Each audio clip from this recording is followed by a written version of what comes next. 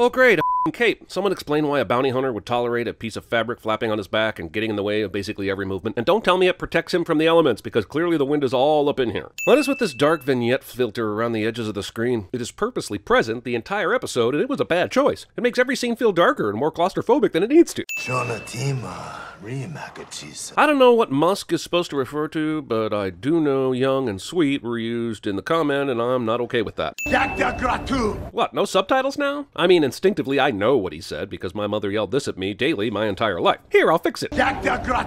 There we go. Surely there are a hundred better places for Quarren to be, considering this is an ice planet and his moist, delicate tendrils would be sticking to every metal surface instantly. To be fair, having a door that operates like that at a bar seems like it would fail safety protocols. If drunk people are operating that door every night, there is zero chance this has never happened before. But with that being said, how would Mando know that shooting the door's power source would automatically close it, or bypass whatever sensor that would keep this entryway from being a regular death trap? It could have just left it open, or malfunctioning where it opened and closed like my sphincter after Thai food, spurting like this dead corpse. I appreciate his focus on the bounty, but what about the zipline grappling shooter? He should be pressing a sweet auto retreat button, or comically wheeling that thing in with squeaky noises we are not seeing Pedro Pascal's beautiful mug in this scene, or any scene of this episode for that matter. Is that a bounty puck? Yes, yes, it is. And Star Wars is just getting lazy with their naming because calling these bounty pucks is frankly really stupid. Also, Mythrol must know that he has a bounty on his head, and the moment the Mandalorian stepped into the bar, I am certain he would have recognized him as a bounty hunter. Why didn't he make a run for it? There's gotta be a back door. I can bring you in warm,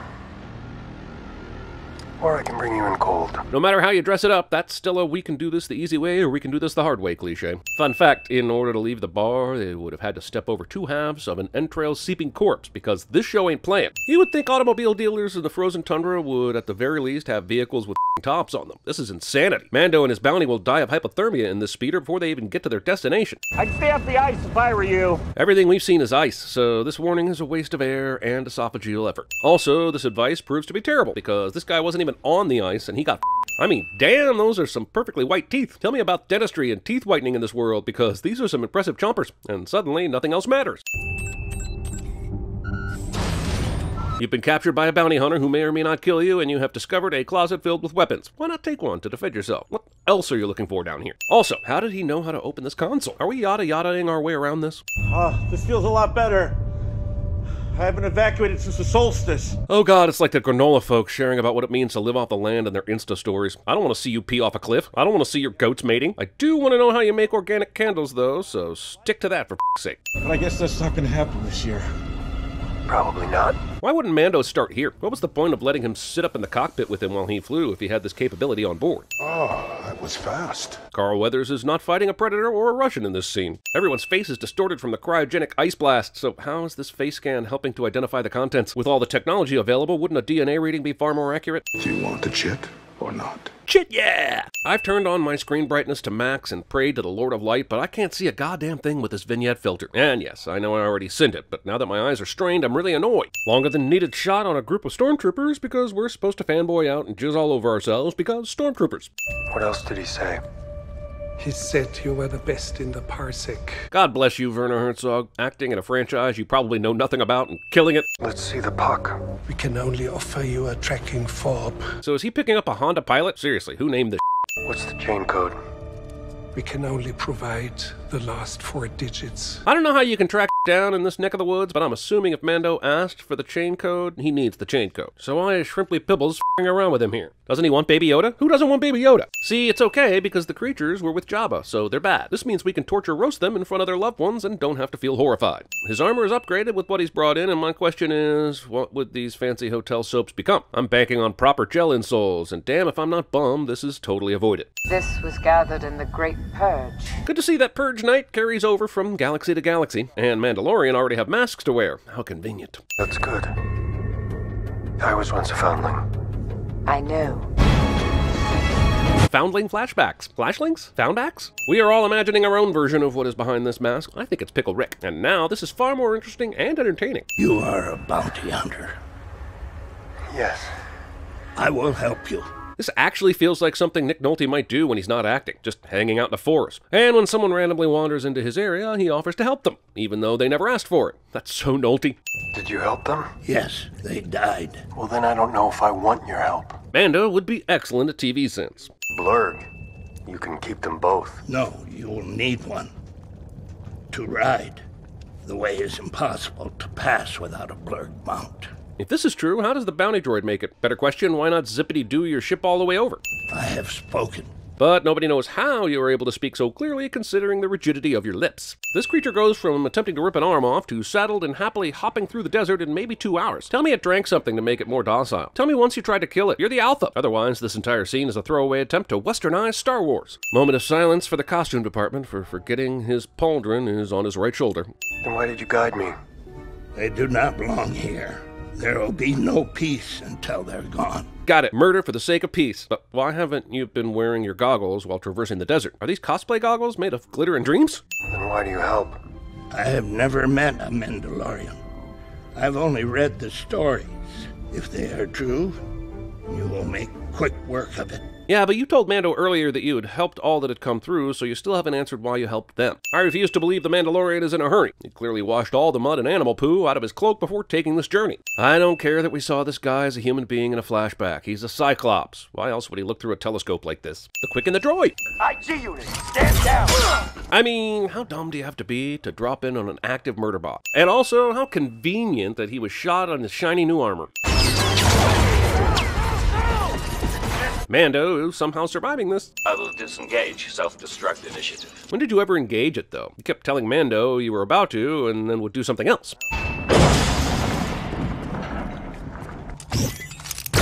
Whoa, whoa, whoa there, Trigger Happy! You know your mark is in the room, and you want them alive.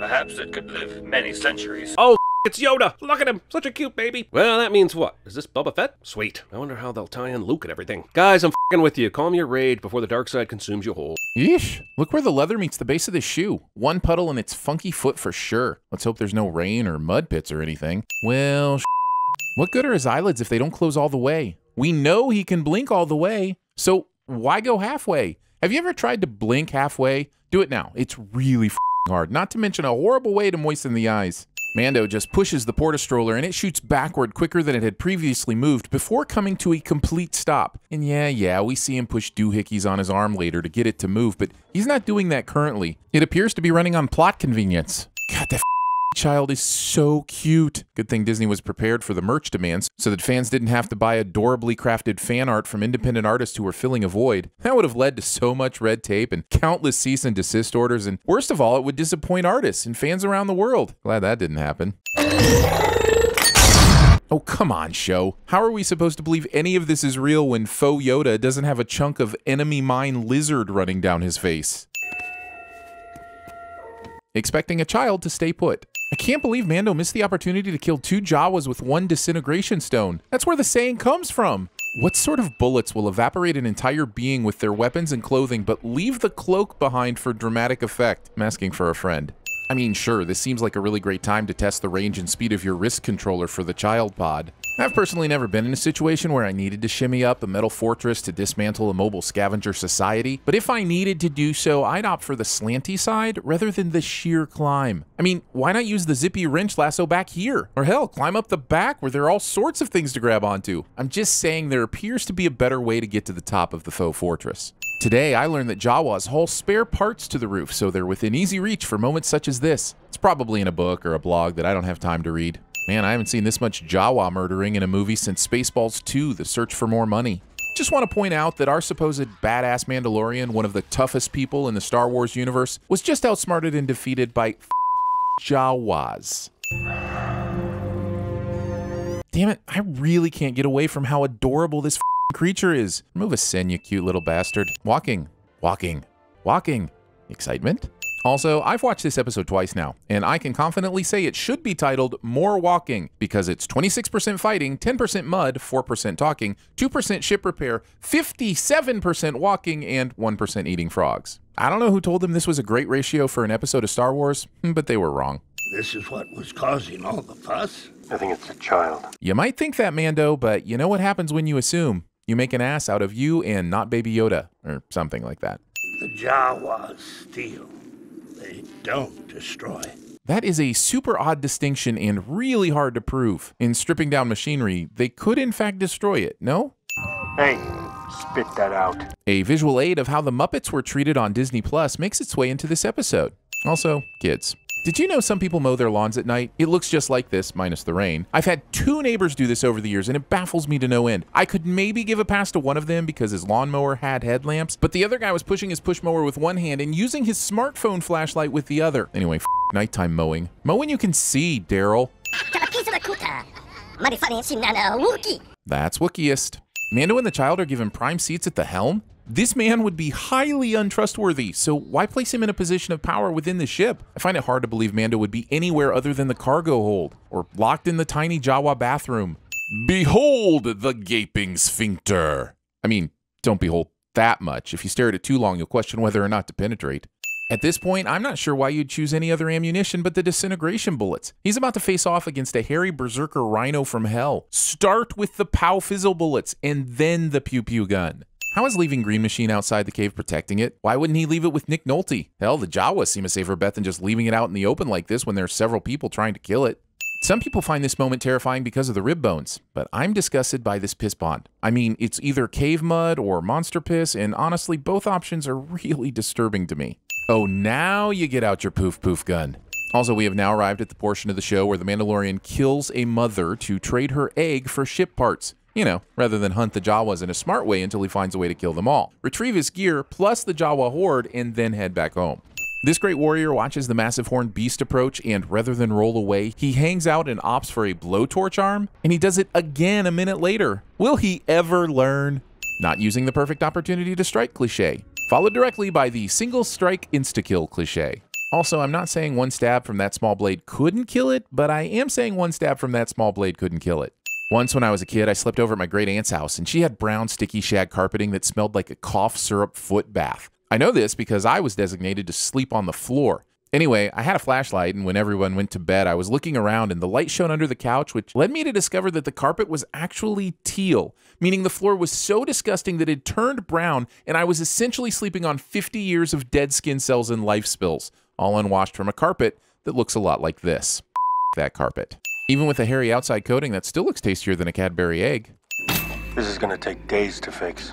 That's what I thought. I mean, look at this thing earlier. It was right up. But nope, with a little can do attitude, these two managed to get it ready for in space flight overnight. Also, when did Mando heal after his fight? His ribs are barely in his body after this, and this, and this, or this, followed directly by this and a little side smack like this. But now, hours later, he's lifting ship parts back into place like he's not even sore? Nah, man.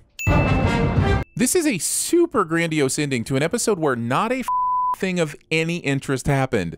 And yeah, yeah, the little green thing not named Yoda used the Force, but we've seen Star Wars. We know it can do this, so who gives a Trying to wake a sleeping baby.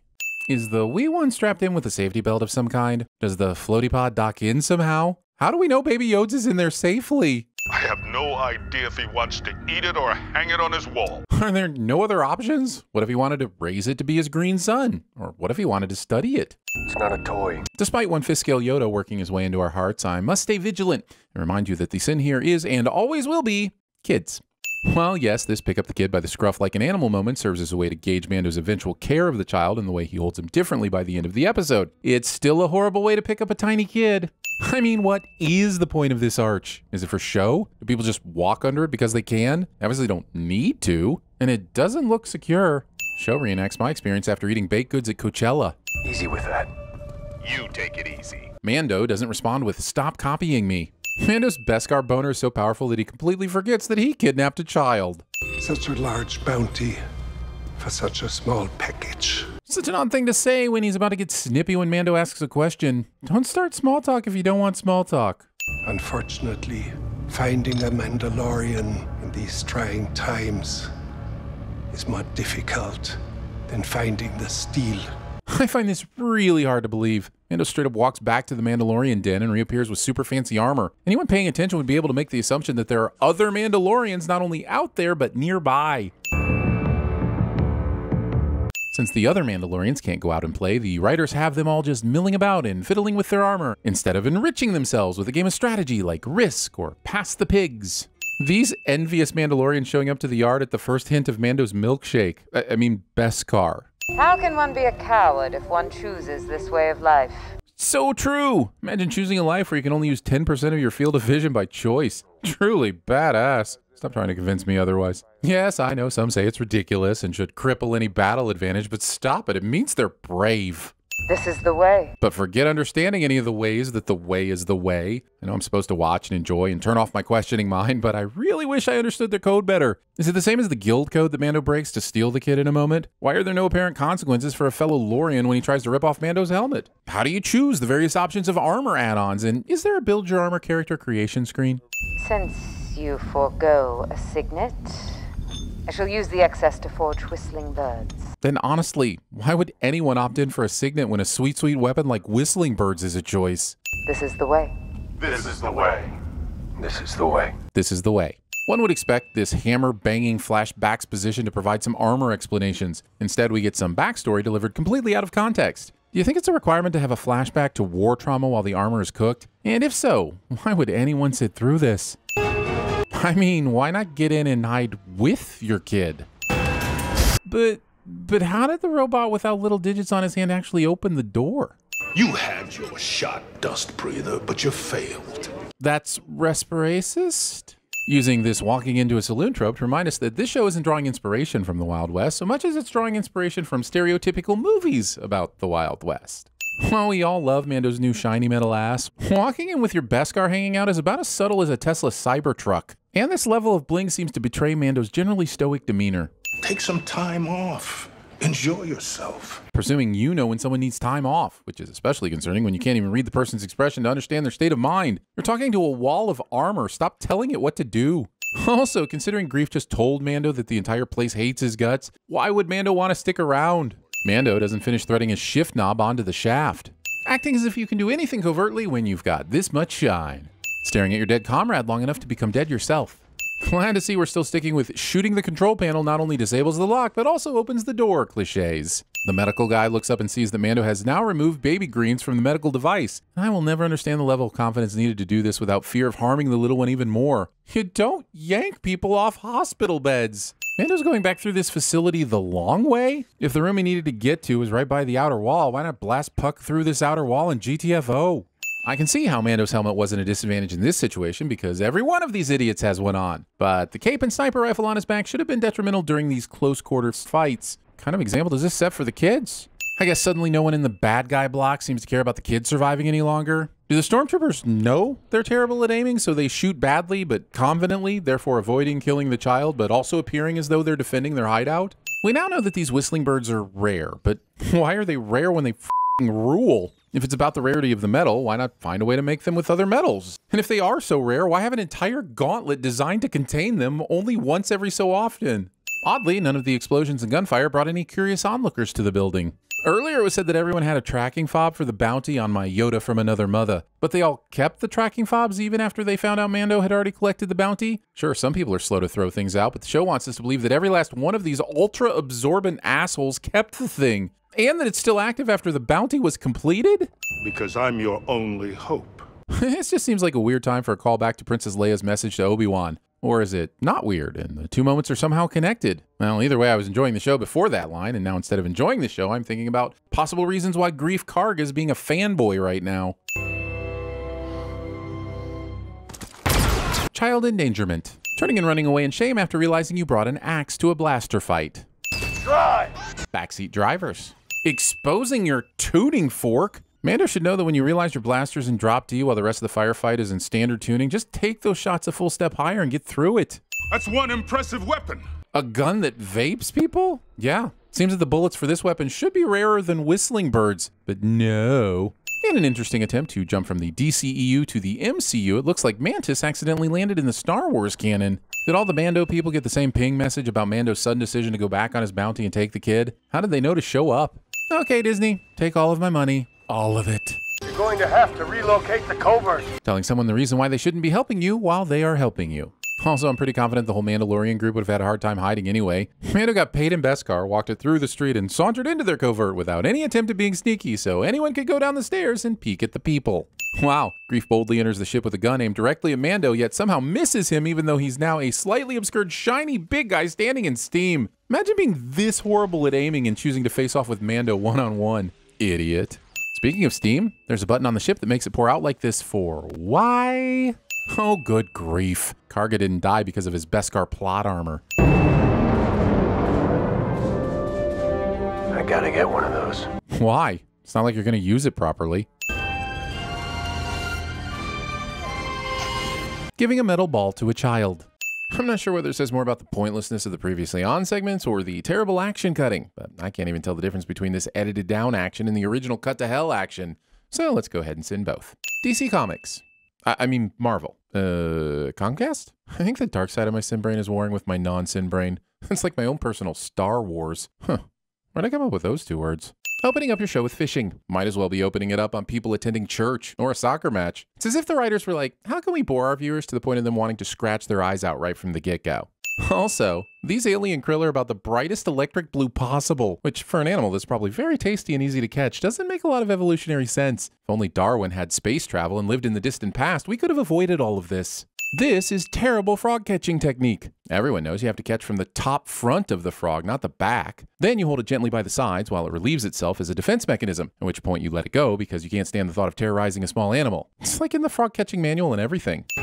Take that, woven gourd shaped object. Droid murder. Drurder? Only on movies and TV do people absolutely terrified of death from an intruder stop hiding immediately after the bad guy leaves. It's not like they were suffocating under there. Those two would have stayed underneath that basket for another five minutes at least before slowly raising it up and sneaking away. But sure, let's go with the violently discard safety while the bad guy's still likely an earshot strategy. Not completing your A's. Those are upside down V's, Disney. Upside down consummate V's. Stop touching things. But also, kids. No population density. Real backwater scug hole. That's Scuggist. What, you don't know what a Scug is? Consider your ignorance part of the problem. Go educate yourself. Ready to lay low and stretch your legs for a couple of months, you little womp rat? Either Mando has a sense of humor or he doesn't. Show plays so fast and loose with his emotional output, I've got worse whiplash than a Bolator playing with a high-low ball. You stay right here. You stay. Attempting to leave minors alone in a parked vehicle. Not keeping your bat-eared chicken leg pug cat in check. And yes, I know it has an actual name, but my version is more accurate and you know it. Well, you're in luck. I just took down a Gringer, so there's plenty. Oh, a Gringer, you say? Well, I'm certain we all know what that is and how it would be taken down by you, so we fully understand what all of this means. Look, if there's one thing I'm consistent about, it's that these shows need more exposition. Sheesh. Keep an eye on the kid. Yes, sir. Not vetting your baby Yoda sitters. Next thing you know, a Ghostbuster's doing some housework for you and catches her breastfeeding the little guy, and it's all downhill from there. I know how this stuff works. What on earth? I mean, what on Sorgan is this scanning for? Can't be heat, right? Because there's no way this amount of heat would still be left after brief walking contact with a shoe. And if it's just looking for indentations in the ground, couldn't you do that with the naked eye? Perhaps the show wants us to believe it's some mystical microbial remnant that's on the bottom of everyone's shoes that Mando can scan. But it's clearly playing it to look like some sort of heat signature remnant, so I'll set it on the confusion alone. helmet punching will always be a sin, but when it's Beskar helmet punching, I'm going with five. Both combatants pull their guns to shoot, but then don't for some reason. Cough, cough, plot armor, cough, cough, and then just hold the guns in a pointless standoff. Cliche. Cute moment, but how did Grogu get down from the chair with the porridge? Mando had to pick him up and put him in the chair when they got to the establishment. Let's just call it an early retirement. Call it whatever you want, Gina. I mean, Cara. Unless you want to go another round. One of us is going to have to move on, and I was here first. Why is this, though? The whole reason Cara and Mando picked this place is because it's not on anyone's radar. So what does it matter if both of them are there? This feels like unnecessary conflict, which makes it very necessary to award a sin. To the middle of nowhere. Where do you live? I could send that this information is enough to change Mando's firm no to a yes, but instead I'm going to send the phrase middle of nowhere. There is no middle of nowhere. In fact, there is no nowhere. Do you know where nowhere is? Your line is nowhere. Let's try that again. Do you know where nowhere is? Nowhere is just a small separation away from now here. My point is, Mando is wishy washy. Good thing Mando knew exactly in the woods where Cara was, and it was close by. Convenient future work buddy camping site is convenient. Damn it, Grogu! You basically have no relevance to this episode, but Disney's using you as some get out of boring free card by just throwing in your unrelenting cuteness every once in a while, even though it has nothing to do with this discount Hidden Fortress episode. I'm not saying it isn't working, I'm just saying it's unfair. Mando has lightning speed reflexes here and almost shoots this little girl, but earlier didn't even turn around when the two villagers rode up to him at the Razor Crest. Nor did he even notice Grogu was approaching him until he was standing right next to Mando before they went into the village. Is it the helmet or just plot selective peripheral vision? Can I feed him? I give all the sins back if right after he says yes, she quickly finishes her sentence with, to the Mamakor as a ritual sacrifice. I don't think. They'll be fine. Oh, sure. Leaving me in the ship alone or with a random Gringer murderer is fine, but the second a little girl wants a play date, he goes straight into Fluttercraft parenting mode. Let us know if there's anything you need. She 100% wants his Beskar spear, and he's not even going to react. I get all the this is the way stuff, but he only has to leave the helmet on, right? Do Mandalorians take a vow of celibacy? I don't care about the answer. I will not be denied Rando Mando.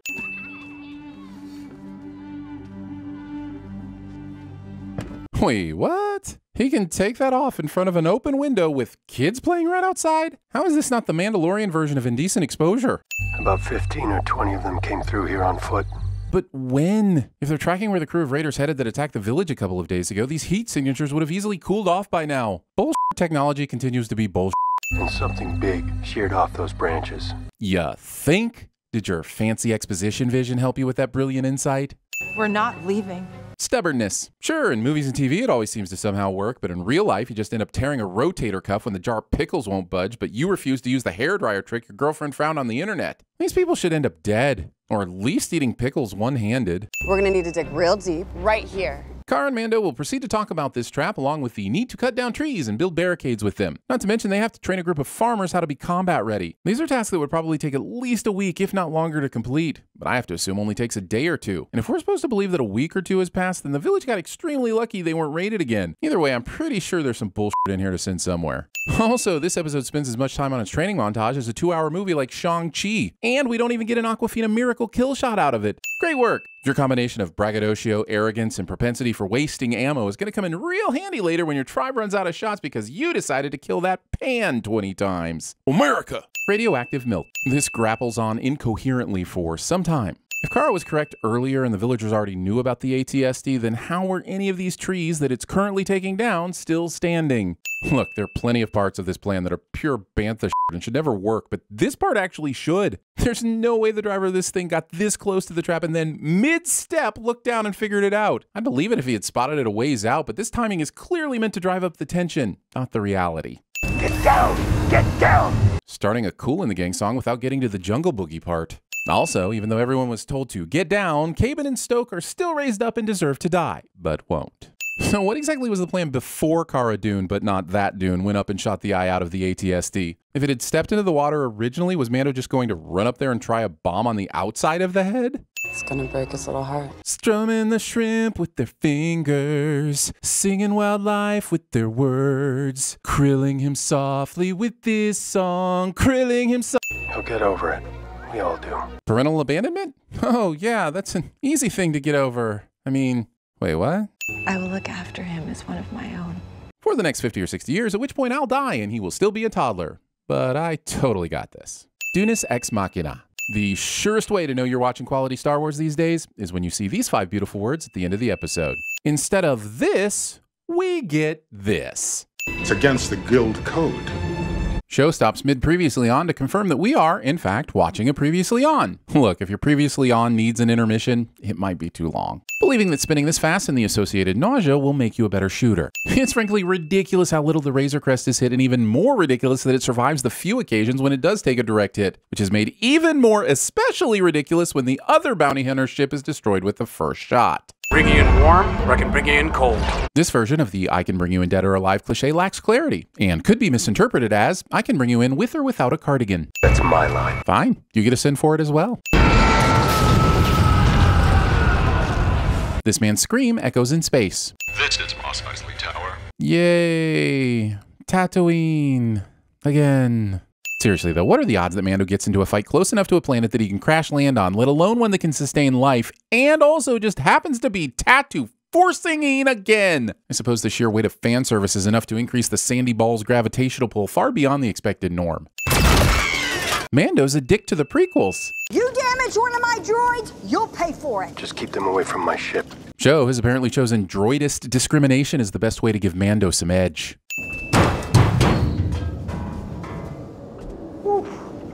Look at that. Mechanics. These maintenance droids are cheating, so not only have they been uselessly programmed with the ability to play a card game, but also how to cheat and the benefits that come with winning. I'm just saying that I feel like this is a slippery slope to we don't need the squishy meat sacks anymore, and probably shouldn't be allowed. The Bounty Guild no longer operates from Tatooine. If you're looking for work, have a seat, my friend. Mando and Calican both luck out in extraordinary fashion here. Mando manages to get work despite the guild not having a presence on Tatooine, and Calican manages to get a freaking Mandalorian land in his lap to help him with his quest. How long did Calican plan on hanging around? And what would Mando have done if Calican wasn't relying on dumb luck and this bar's reputation to catch Fennec? Think again, Tin Can. Show has apparently chosen droidist discrimination as the best way to give Calican some edge.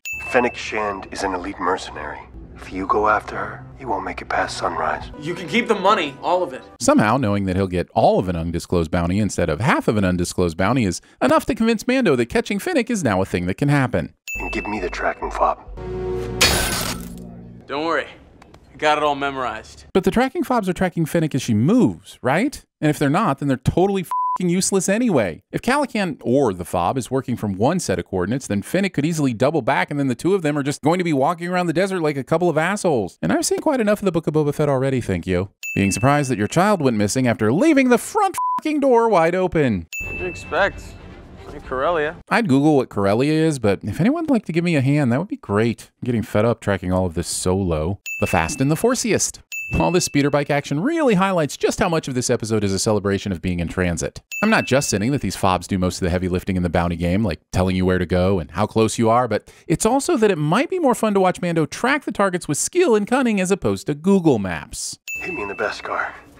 And at that range, Beskar held up. The statement is redundant because later on the armor will also hold up at close range. Regardless, I'm still confused as to why Fennec isn't going for the squishy bits between Mando's literal plot armor. You see where that shot came from? Yeah, came from that ridge. The specificity of that ridge really doesn't cut it when you follow up with this shot of all the ridges. This is only about 10% more helpful than saying that way without putting any hands up. If you have to remove your signature helmet in order to use your signature weapon, might I suggest that one or both of these two signatures may need rethinking? Fennec distracts Toro with a throwing knife to the blaster, then has enough time to run and kick said blaster away despite having a gun. Yes, it's a long range weapon, but I've played enough video games to know that being no scoped with a sniper rifle is just as likely to work and 1000% more infuriating.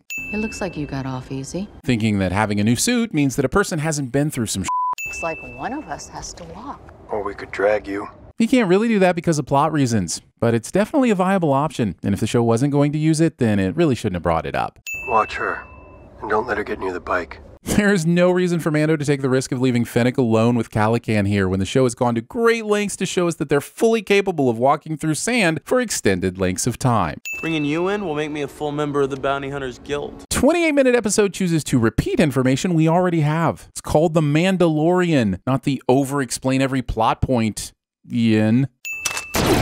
Fennec survives this. If the Mandalorian's worth more than you are, well, who wouldn't want to be a legend? But also, why doesn't he want Fennec to survive this? Regardless of how much the bounty on Mando is worth, there's still money to be made from taking in Fennec. Take her in, get the bounty, tell them where Mando is, and then boom, double the legendary. Why is Calican holding the blaster on Mando? Mando doesn't care about being shot, and he'll probably think twice about any sudden moves if the blaster stays trained on the adorably squishy piece of product placement Calican is holding. Necrostelia. I hear spurs, but I do not see spurs. What's this? The pedestrian equivalent of pumping fake engine noise through your speakers? Also, we're supposed to be rooting for Mando, but he just assumes Fennec is dead without checking, which leads to this scene, which in turn leads to five full episodes of Boba Fett. Thanks, Mando. The Razor Crest is still in one piece in this scene. Yes, I'm sending the show because it will eventually blow up this beautiful beast, and I know you feel that pain too. Mando, is that you under that bucket? Ah, sudden Bobby Elvis. Also, what a weird way to address someone who, in theory, you've only ever seen while they were wearing said bucket. Unless, of course, this is one more person Mando has unsheathed himself in front of, in which case he really should think about amending his oath to this is the way when it's convenient to me. You know the policy. No questions. This seems like an extremely broad and frankly unrealistic policy. Let's see how long it lasts. So what's the job? Eight seconds. Ship wasn't part of the deal. Yeah, the crest is the only reason I let you back in here. hey, what happened to? And you? You're welcome back here anytime. My goodness, I know we're dealing with criminals here, but is an ounce of consistency too much to ask for people? What's the look? Asking someone who's wearing a full face helmet about the look they're giving them. Bill Burr's not the first person that would pop in most people's heads as the badass slash sharpshooter on a heist team. However, I'm glad he was on the minds of the Mando team because he's great in this role. Former Imperial sharpshooter. That's not saying much. I wasn't a stormtrooper, wise ass. Wait, so it's known in universe that stormtroopers can't hit the broadside of a bantha, and yet they're still being used? I can't believe that thing can fly. It's like a Canto Bight slot machine. How does that look anything like a slot machine? Hello, Mando. Xi'an. One member of the team is a woman who has a long history with the protagonist cliche.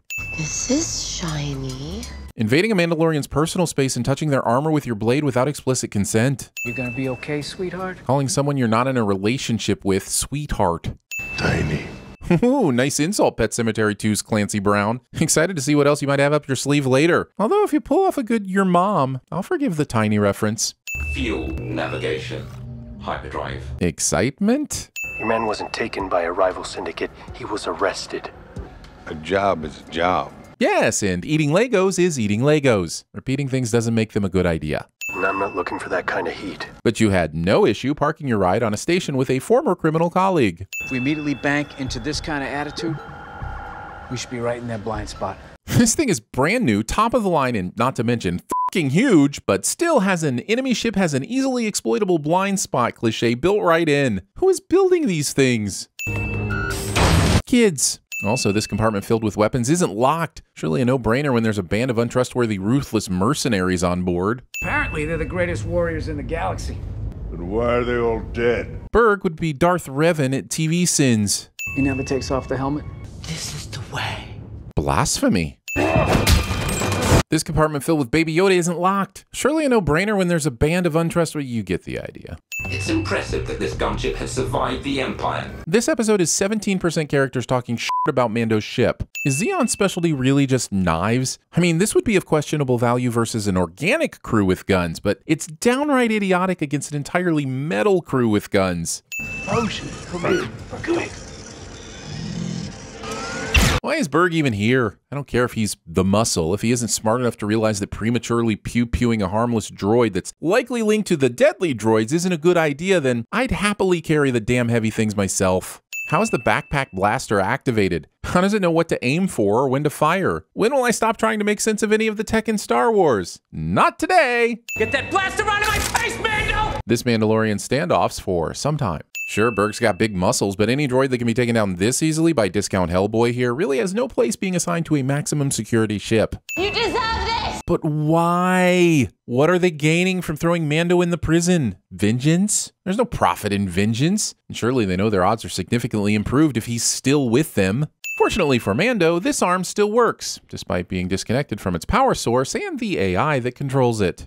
I can't tell if these are the computer graphics being displayed on the ship's computer, or if Zero is in the middle of a game of Tron Deadly Discs on his Intellivision. It seems comms are no longer functioning. Comms go down in the middle of a dangerous mission cliche. And yeah, maybe I've laid on the cliche sins a little thick, but that's only because this episode is as well.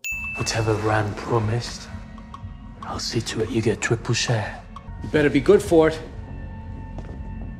I mean, I'd probably take that laugh to mean something like, What do you think, dickhead? You just broke me out of prison and all I have is this vest and a pair of lovely head calves. Of course I'm not good for it. But you trust who you want to trust, Mayfeld. Mando. Polo? Burg survives this. These look like the same droids from earlier, so why are they going down so much easier this time around? Were those previous droids on special roids to help avoid the weapons being deployed? Or am I doomed to be an annoyed humanoid screaming into a void devoid of joy? I mean, joy. Okay, when did this turn into James Wan's The Mandalorian? I did the job. Yeah, you did. So Ranzar was essentially full of shit when he said that, It's a five-person job. right? Because it quickly became abundantly apparent that this was, in fact, a one, maybe two person gig, including the robot. Mando does the vast majority of the droid control, while the others seem to be actively sabotaging the mission at every opportunity. Not only does Mando retrieve the prisoner alone, but he does it while facing three additional opponents that weren't even in the original brief. Kill him. Why kill him after he's taken your money? It's not like he's any less dangerous inside the spaceship with lasers. Um, guys, if the tracking beacon was activated as a distress call, isn't it at least possible that it's still being held by the poor bastard that sent the message? Yes, I know we were told earlier that this beacon would result in immediate destruction, but when did shoot first and rescue the charred remains of the dead hostages later become the Republic's standing orders? You know the policy. No questions. So what's the job? This is the guy? What did he get out of it? You remember what you said, Mando? We did some crazy stuff, didn't we? Don't take long, does it? Why are we using this one? Why are they all dead? Is he as good as they say? He never takes off the helmet. You ever seen his face? What is that? You get lonely up here, buddy? Did you two make that? What is it, like a pet or something? Is that true, Mando? We always paranoid? You didn't think we need to know that tiny little detail? Are you questioning my managerial style, Xi'an? Do you have a name? Is it not your code? Aren't you a man of honor? Where are the others? No questions asked. That's the policy, right? Such a large bounty for such a small package. Reminding us of the previous episode where Werner Herzog broke into gigolo jokes for no apparent reason. Also, there's no reason why a previously on bit needs to be over a minute long. This is a TV show, not a Lord of the Rings movie. The previously on before the Two Towers didn't even last. There was none because previously ons are a dumbing down of storytelling comprehension skills, you bastards. Not having a proper car seat. Sorry, Razor Crest seat for your child. Seriously, we know you're not the most successful bounty hunter, but you can afford a quick stop at whatever the galaxy's equivalent of Target is to buy your child some proper protective seating, or just shop at the actual Target. You'll be safe there. Stormtroopers can't get anywhere near it. My friend, if you are receiving this transmission, that means you are alive. You might be surprised to hear this, but I am alive too. Look, Greef, most of this could be gleaned from the context of your message. I misplaced a college friend one time after a wild night of too much Scrabble, but their text in the morning asking if I wanted to get breakfast was more than enough to establish that they were alive and thought that I was alive as well. You kill him, and we both get what we want. Oh, cool, you're alive. Sorry about trying to kill you the other day. Hey, can you do me a favor? If that fire rope thing connecting them doesn't burn or do anything besides function as a rope, why wouldn't you just use a rope? Save your poor special effects intern from having to edit this pointless thing into the scene through multiple cuts. Hey up, mud scuffers! Mud scuffers. I know we all got a good kick out of Nerf Herder, but maybe we can stop trying to make other funny words happen. It's not going to happen. You've got like three different groups of people looking for your baby. Can you at least attempt to keep him hidden? The kid'll never be safe until the imp is dead. Shortening Imperial to Imp, which is a mythical creature and would change the Star Wars universe in a way fans wouldn't be happy with. Ha, who are we kidding? Star Wars fans are never happy. See, this is what happens when you leave a child unattended in another room. It's either they take over your ship's steering console or they make soup in the toilet by pouring in all the spices in the cabinet and then take turns drinking it. They do that sometimes. I've heard. You got anyone you can trust? The uncanny probability that the person he trusts will be on a desert planet. I've worked in the gene farms. This one looks evolved. Too ugly. That's eugenist. Would anyone care for some tea? Disney Plus refuses to give us a spin-off based around Taika Waititi droid. Not anymore. He couldn't have let him know that he had a bounty hunter droid before it strolled into the room getting their tea order. I found it laying where it fell. Well, someone might have moved the RoboCorp, so you're just assuming it fell there. Also, not knowing how to properly use laying and lying. My ninth grade English teacher didn't grammar shame me in front of the entire class just for you to trigger me like this. I recovered the flotsam. Well, someone might have deliberately left the RoboCorps there, so you're just assuming it's not Jetsam. It had to learn everything from scratch. This is something that cannot be taught with a twist of a spanner. Maybe not a spanner, but certainly with a software update. And I'm sure this Robo Karate Kid scenario will be important to the plot at some point. But considering the other they've got going on right now, I don't know why Kuiil thinks Mando and Cara have time for this. Tea? Taking a drink that was clearly offered to Mando instead of waiting patiently for your own cup. Manners matter, Cara Dune. In fact, here's another two sins for poor table manners. My teacher in finishing school didn't teabag shame me in front of the entire class for you to trigger me like this. I can pay you handsomely, Ugnaught. Referring to the man who helped you get your stolen parts back, rebuild your spaceship from scratch, and gave you T as his species name. Why are everyone's manners in this galaxy so awful? None will be free until the old ways are gone forever. And yet, the sequel trilogy tells us the old ways don't disappear. Somehow, they returned. While Kuiil sits down on the ship to do bong rips, I have to wonder how much more interesting it would have been to get a glimpse into his past instead of clips where he's teaching a robot to walk and make tea.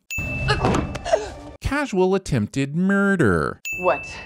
When you work for the Empire? This tension between Cara and Kuiil gets written into the scene as if they didn't have a cordial tea party before and as if he was the one choking her. Grogu is the one being an ass here. Let's not forget that. Making me watch other people watch this ship land. It appears that introductions are in order. It seems we've both provided a security detail. Did the writers run out of dialogue for this scene and decide that Greef verbalizing his observations was a good substitute? There's meeting outside of town to avoid alerting the Imperial troops, and then there's meeting so far out of town that it requires a camping trip. And while I hate camping as much as everyone else, the real issue is that nothing has been established to make the long night of Stand By Me portion of the episode feel necessary. Nothing can go wrong. And now we have some sort of pterodactyl dragon situation putting us somewhere between Jurassic World and Pitch Black. Why is this contrived scene trying to be all of the things? This little guy truly does not care that he's about to be eaten by a space dragon. The poison's spreading fast. Those things were poisonous too? This scene has more random tension than the time I saw my friend John start a fight with a car seat and lose. He's trying to eat me. He is not. But at this point, I'm kind of surprised the writers didn't take it in that direction. There's that mysterious force healing ability again. And once more, Force Ghost Qui Gon looks on before walking away, muttering, That is such bullshit. I need your eyes. Don't take her eyes. She needs those to see and protect you. Unless you think she can be Donnie Yen. Listen, Mando, I saw Donnie Yen. I had my mind blown by Donnie Yen, and she is no Donnie Yen. There's something you should know. That's just one step removed from a you better come take a look at this cliche, and we'll let Cindy decide if that's far enough to avoid a sin. What do you say, buddy? Well, there you have it. Also, let's talk about how useless that armor was. He got shot once in the upper left corner and died instantly. Who made this armor? Was it the same designer that makes useless stormtrooper armor? Is there a guild of armor makers in this galaxy far, far away that consistently releases inferior products? Nothing on this planet will breach those doors. Hold on there, partner. Nothing on the planet will breach those doors. Jawas were able to tear your ship apart in just one day in a previous episode. We've seen how flimsy the Razor Crest is, so maybe think before you go around jinxing the ship's whole integrity. That's how you get an iceberg to sink your ship. Arm wrapping, gratuitous blaster close ups, looking deep into the eyes of a baby. Excitement? I'll give you 20 credits for the helmet. I don't know what the exact exchange rate is for Beskar, but this asshole trying to grift out on the edge of the Republic sucks way more than I would expect at grifting. On your wall. Go with it. Pretending the guards can't hear you say this even though you're six inches apart. Can I offer you a libation to celebrate the closing of our shared narrative? Prematuration celebration libations. The Empire improves every system it touches. Camino and Alderaan have entered the chat. I see nothing but death and chaos. I would like to see the baby. Werner Herzog wanting to see a baby. Have they brought the child? Yes, I have. Currently, it is sleeping. You may want to check again. Moff the boss buries the lead before burying this blaster beam in the client as a dramatic show of Imperial force, instead of saying, Yeah, man, hate to bum you out, but they don't have the kid. You probably should try to kill them. Just saying, if we briefly suspend our disbelief in their plot armor, there is some chance the client succeeds in killing them, and Moff's job is that much easier. I hate it when villains work harder and not smarter. Are you there? Do you copy? Yes! Mando f***s over Kuiil so hard right here by doing this over unsecured comms that I'm willing to simply sin him for being a dick. Back to the ship and bail. Get the kid out of here. We're pinned down. Wait, are we supposed to believe Kuiil was dumb enough to give Mando a communicator set to the same frequency as the stormtroopers were using? Because that seems like a pretty big oversight. Even if the stormtroopers intercepted the radio transmission, how do they know where Mando's ship is? Is it because the writers told them? It is, isn't it? Well, guess what our writers told Cindy to do? I love when they let the ships and other elements in the world shine so we can see all the tech and take in all the hard work that went into the creation and depiction of these works of art. But this episode has done it so much that they've ended up developing the spacecraft and blurrgs more than the characters.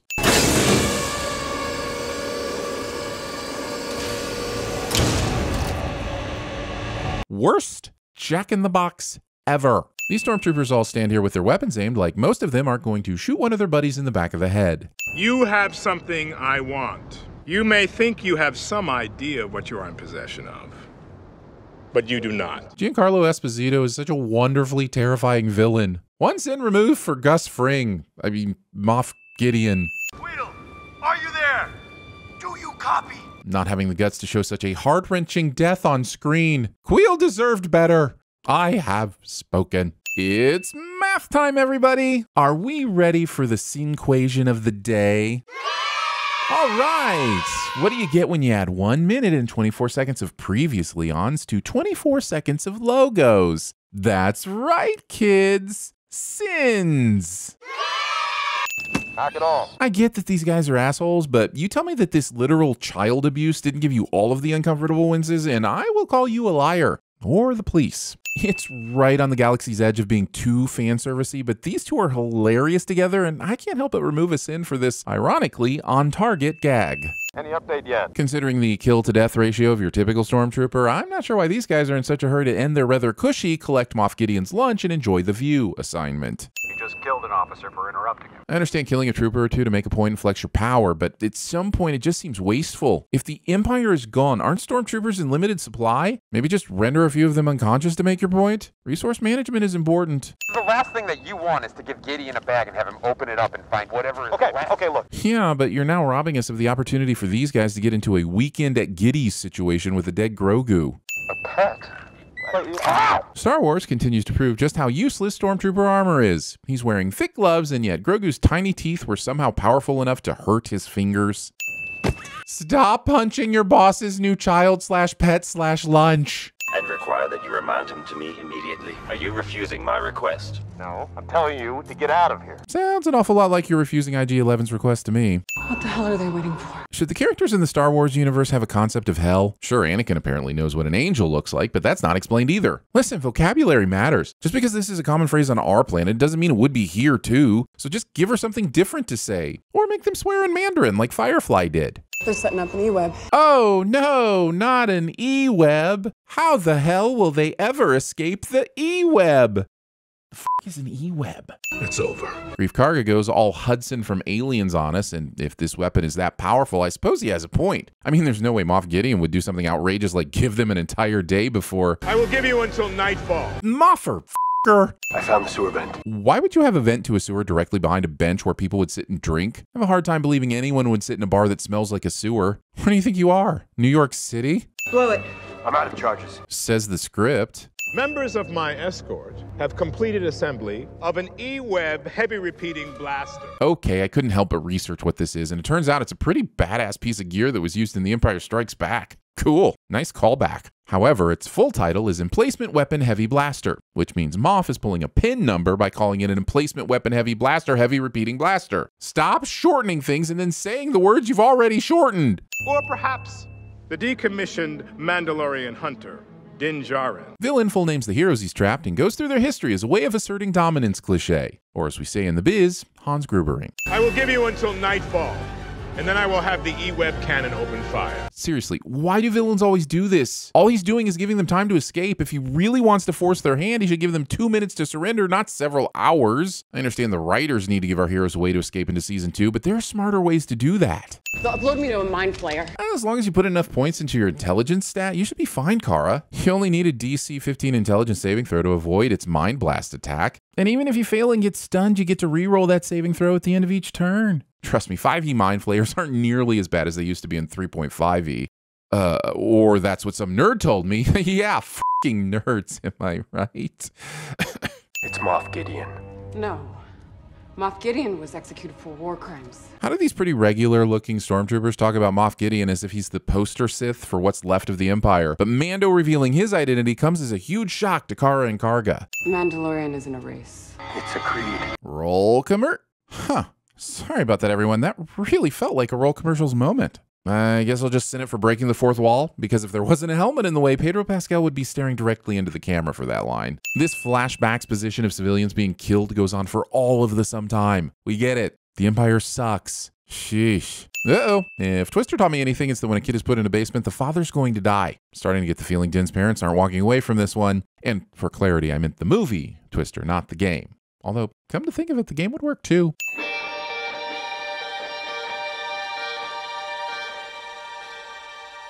Electric guitar riff of justice. Also, looks like we've got a kid whose name rhymes with in hides underground while Imperial baddies kill their parents until they're rescued by future mentor cliche. Okay, maybe that's not a cliche, but the similarities to Rogue One seem unnecessary in a galaxy full of potential origin stories. Cool shot, but there are still plenty of droids around. Could they really afford to dramatically unfold their hand and wait for Din to climb out? Moff Gideon was an ISB officer during the Purge. That's how I know it's him. What kind of proof is that? How can he know Moff was the only ISB officer connected to Mandalore? Why is it only an ISB officer that could know his name? Look, I'm sure there's something I'm missing here, but I wish someone would tell me exactly what, because Karga and Cara take this as unquestioning proof that Moff Gideon is, well, Moff Gideon. He says he needs us, which means the child got away safely. I was worried when the Ugnaught didn't respond. Stop calling this person you've come to implicitly trust and respect by their species. You don't call Cara the human or Luke the ungodly CGI rendering of my nightmares. Okay, I know that's not until season two, but it bears sinning as much as possible. I am fulfilling my base function. Which is? To nurse and protect. Not that the shots of Grogu laughing while IG 11 blows up aren't awesome, but if your directive is to nurse and protect, wouldn't you take the child further away from danger? Running the kid into an active conflict zone would seem to violate that directive pretty fundamentally especially when the Razor Crest was an option. Punching a guy in metal laser proof armor. Only members of the Bad Batch could get away with that nonsense. Mando rips the E-Web off of its mount, presumably so that he can make it a mobile vessel of pewing fury. But since he ends up standing in the same spot and spinning around, why didn't he just leave it on the mount with its stability intact and save himself a copyright lawsuit from the Master Chief? I know stormtroopers aren't exactly the masters of tactical warfare, but this dickhead literally runs toward the line of fire created by the super powerful death cannon. Why are they still trying to get into the bar? Both Mando and Grogu are clearly outside on the street. And you might say, but TVSins taking the bar offers a tactical advantage. And we'd say, stuff it, you scruffy nerf herders. Stormtroopers aren't that smart. Like and subscribe. Yes, stormtroopers couldn't hit the broadside of a bantha, but shouldn't the priority here be taking out the extremely exposed Cara and Mando? We barely see a shot even come near them. I mean, what the hell is Moff Gideon doing right now? Washing his tights? Wait, what? Didn't they just blow the door off with a grenade? How is it all fixed and properly shutting now? What kind of a bar has a reloading door? I'm not gonna make it. Go. Trying to convince the audience that the show's titular character will die when season two has already been ordered and sinned. I'm gonna need to take this thing off. No. You leave me. Codes of honor are cool and all, but the Mandalorians are basically an endangered species right now. If taking the helmet off can let her save his life, then do it. Yeah, yeah, I hear you. This is the way, and I have spoken. But that's not going to matter all that much in about five minutes when a droid finds a loophole as small and ridiculous as a midichlorian. When you get to the Mandalorian covert, you show them that. Do you want to tell your friends where the top secret covert is before you kick the bucket? They'll probably need directions. Guys, we want to make sure the stormtrooper looks different because they have a flamethrower and any suggestions? Um, how about some unsettling red paint that makes it look like the skin of his helmet is being pulled back to reveal a fleshy undermaw? Ugh, that's gross, and it doesn't say flame trooper to me. I love it! Let me have a warrior's death. We just saw Grogu use force healing powers in the last episode to save Greef Karga's, so why can't they do the same thing for Din here? Is someone saving their force powers for a more dramatic scene? Are they? I bet they are. I bet they are. I won't leave you. She will. At this point, we've had so many Deus Groguganas that it's hard to buy into the stakes of these near-death situations. It's especially baffling when you realize that a matter of hours ago, Grogu chose not to use their powers to save Kuiil, a character we like more than at least 50% of the people in this room. No living thing has seen me without my helmet since I swore the creed.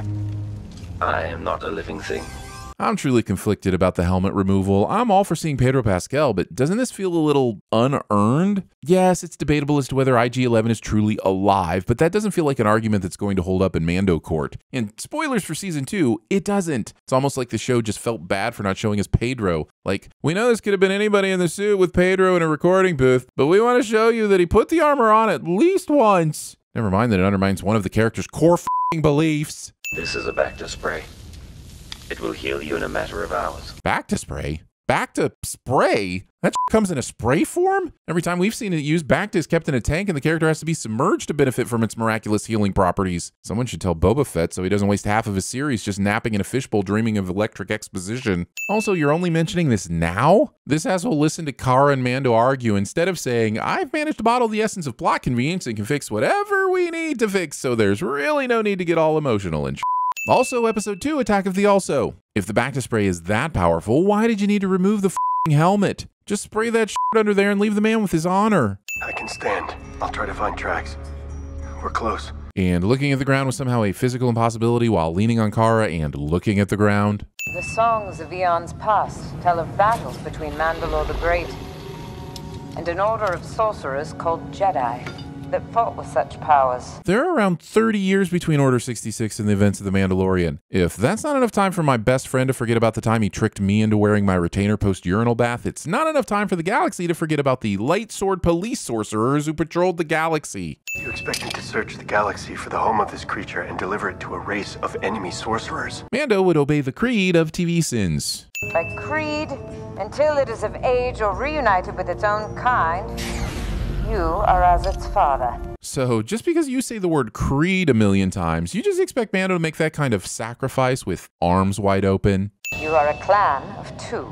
Sup, Mando? Cool badge. I have no idea you joined the Mus. The the what? The Mudhorn Appreciation Society. Yeah, I've got a cousin that rolls with those guys. Nice group, bit intense. No, no, no. th- This is my my signet to show. Ah, damn it. IG, please guard the outer hallway. Kudos for saying please, but does IG just take orders from anybody? Until you know it, it will not listen to your commands. What is it, a Pokemon? You're telling me this jetpack can disobey its user? Funny how none of the other Mandalorians in the Siege of Mandalore episodes of Clone Wars seem to have rebellious jetpacks. Or at least that's what some nerd told me. Hey, Chad, toss me a cold one while I fix this car and oh, I can't do it. I'm the nerd. I'm the nerd.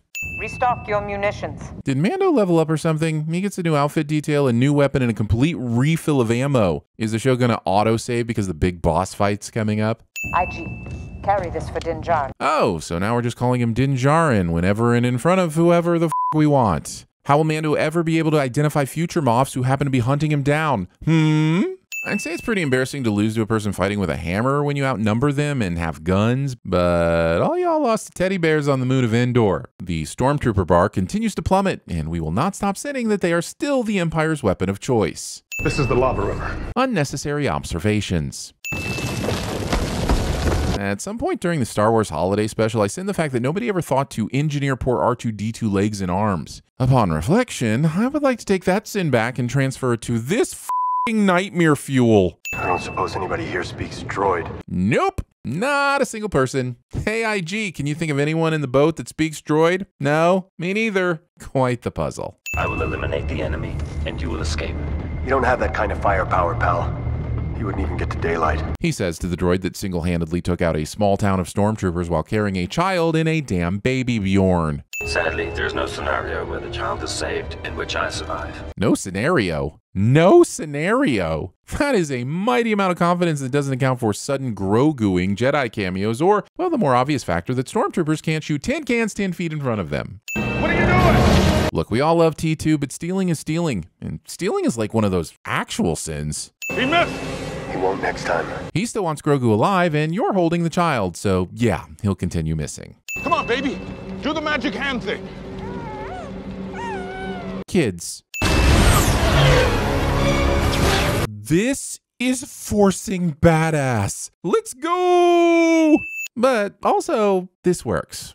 Shields are a thing in the Star Wars universe, right? Like, we've definitely seen them before. So why don't TIE fighters have them? And don't give me some shit about it being too expensive or cumbersome. If the Rebellion can afford them and fit them on X Wings, the Empire should have zero issues doing the same. Moff Gideon survives this. Well, would you look at that? The jetpack is still obeying commands. I'm starting to think that the nice lady with the murder hammers was full of shit. Aw, yeah, more ship porn. I love the Razor Crest. I hope it sticks around for a long time to come. He has a light slash dark slash saber slash sword thing? Why the is he only busting this out now? In fact, why is the show only busting this out now? It's as if they've been saving it for some big end of season sting. Oh.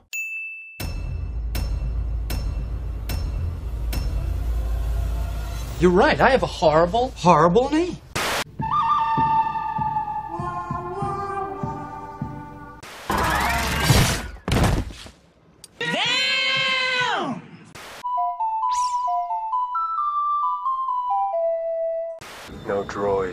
These aren't the droids you're looking for. Those are the shrieking eels.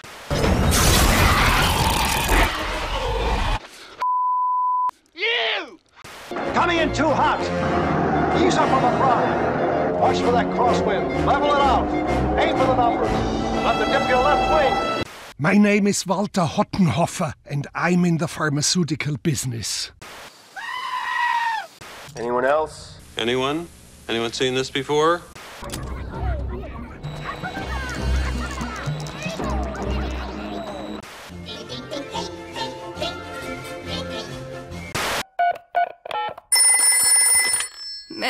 Hello, Mrs. Pig. Hello, Mrs. Sheep. Can Peppa talk to Suzy, please? I would like to rage. I can't. I kill you.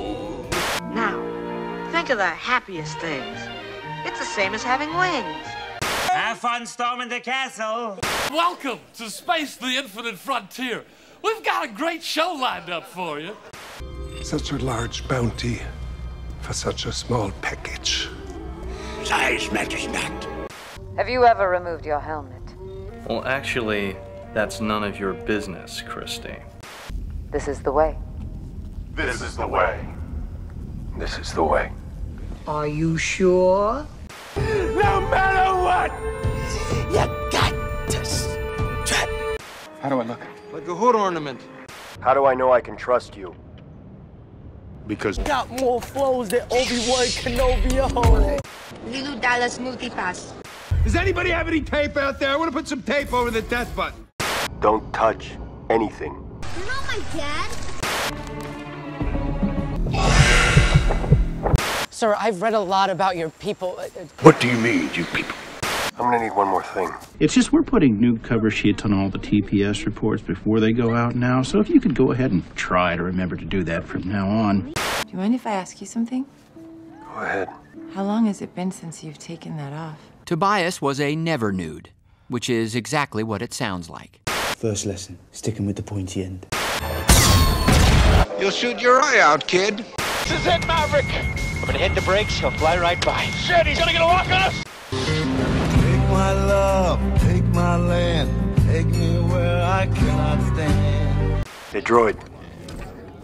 I'm a hunter. I'm looking for some work. Tell you the truth, I don't give a sh.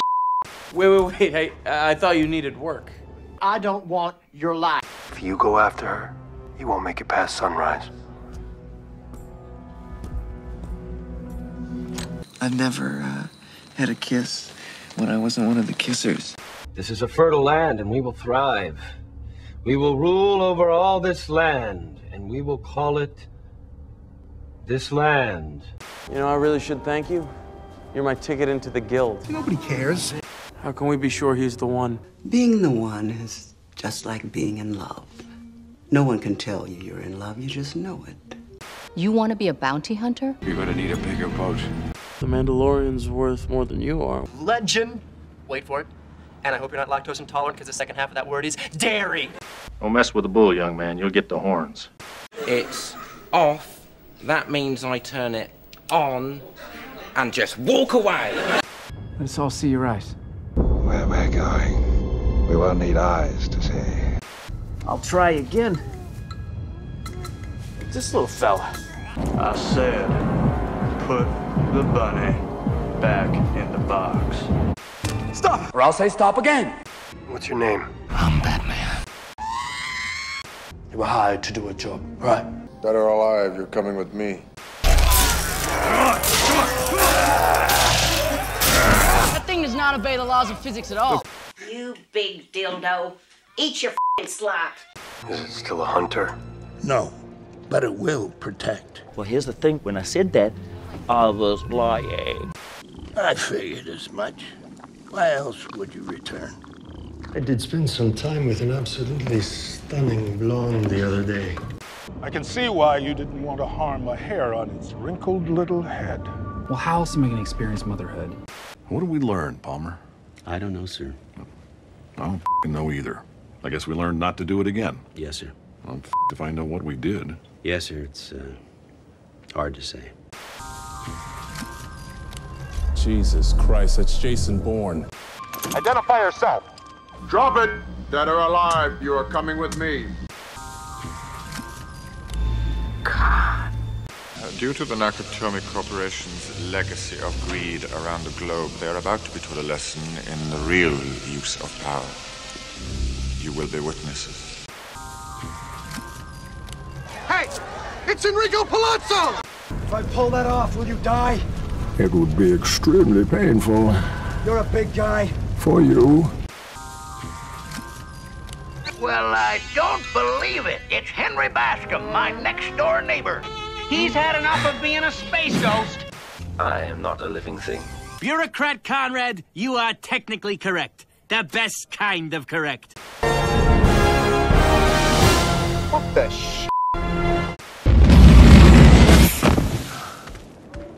That wasn't flying. That was falling with style.